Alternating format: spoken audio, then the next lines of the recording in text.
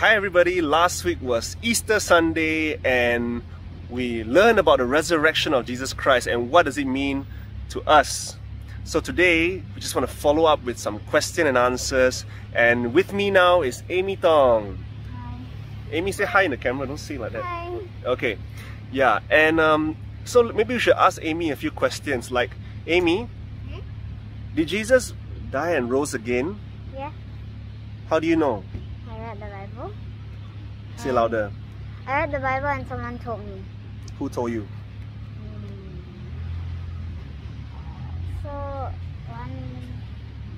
Actually, my daddy told me, and then my mom, then my dad. When I was young, uh, my, my daddy and mommy told me about the Bible.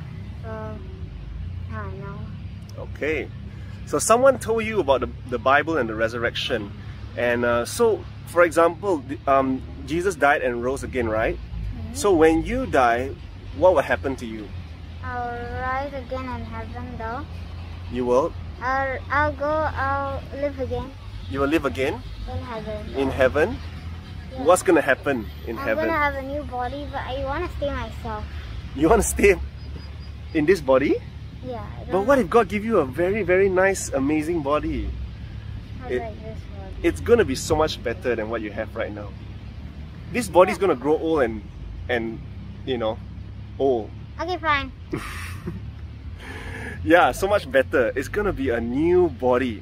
We're gonna have a new glorified body when we go to heaven. Then I don't. I'll. I'll not know my parents. Or not. Not know my brother. Well, we don't know that. We what we know is that we will have our memories, and um, in heaven, and heaven is gonna come out from God and be merged together with earth. Do you know so that? you're saying that we got memory to know each other? Yeah, that we will remember one another in heaven.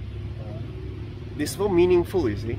And we'll be worshipping God, and there'll be so much more to look forward to. We will even know people from the old past, like Moses, So Abraham, So David. we can know. So we can uh, know. So we can know people like like who has died like like a thousand years ago. Yeah, because we will recognize Elijah and Elisha. Elisha, Yeah, who's that, right? It's a prophet. And Jesus as well. of course. It's gonna be so amazing in heaven when we will have such a great reunion with one another. And I'm looking forward for that day, but you know what? We still have time on earth. So what we ought to do on earth is to honor God. Enjoy. And honor God, right? Live life that is worthy of his calling and we encourage you to continue to talk and share about the resurrection, of the great day. And you know what is eternal life? Eternal life is knowing God. Knowing God and live forever. Yes. And John 17 verse 3 says that Jesus said, This is eternal life, that they know you, God, and Jesus Christ, the one whom you sent. So we can know God today. We can start to know Him today and experience eternal life today. Because why? We're going to start to know Him today until forever. Forever knowing God. So, um, we will always know God. yeah, now we might know God a little bit, and maybe tomorrow a bit more.